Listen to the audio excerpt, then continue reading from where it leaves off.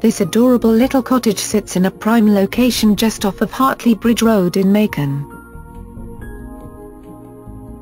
The kitchen area is open to the dining area and new countertops have been installed as well as a new sink. The living area is separated from the kitchen by a single wall and new carpet has been installed. The open floor plan and high ceiling makes the first level feel much bigger than it actually is.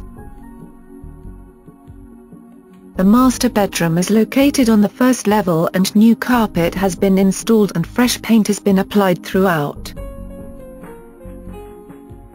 The second bedroom is located upstairs and it has also received new carpet and fresh paint.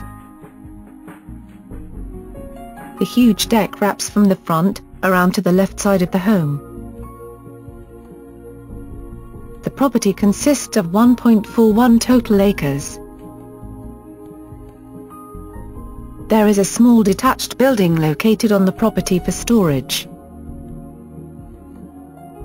This property is currently being offered for $69,900. This is an R.E.O. property, and it is the perfect opportunity for a single person who doesn't want to pay rent, to own their own piece of property.